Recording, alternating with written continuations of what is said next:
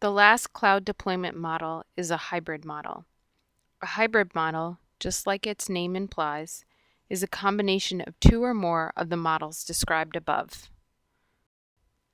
Perhaps an IT department has decided that the data contained in the Redmine database is too sensitive for it to be in a public cloud. So they have decided that the MySQL database will live on their Eucalyptus-based private cloud.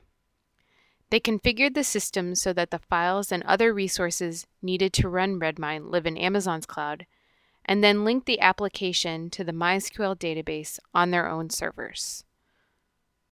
This is just one way to use multiple types of cloud to deliver a system.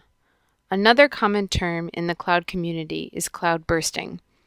This means that if a system gets too large to be contained in, say, your private cloud, you can expand into a public cloud like Amazon or Rackspace.